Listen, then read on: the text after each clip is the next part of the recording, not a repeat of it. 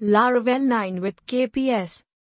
Hello and welcome to my Laravel 9 class. What is a framework?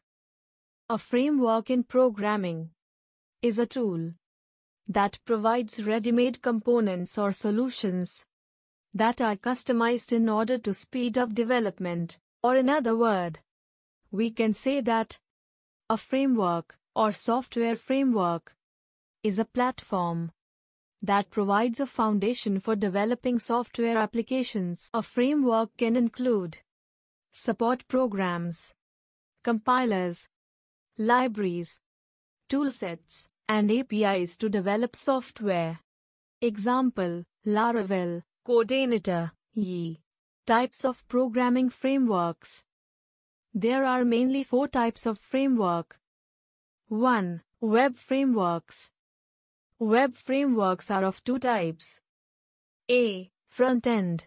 B. Back-end. 2. Content management frameworks. 3. Mobile app development frameworks.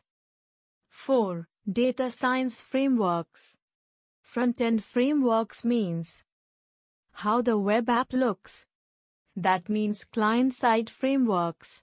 Example 1. Angular 2. React.js. 3. Vue.js. Backend frameworks means how it works.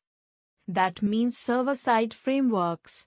Example 1. Laravel 2. CodeIgniter 3. CakePHP These all are the backend framework content management frameworks.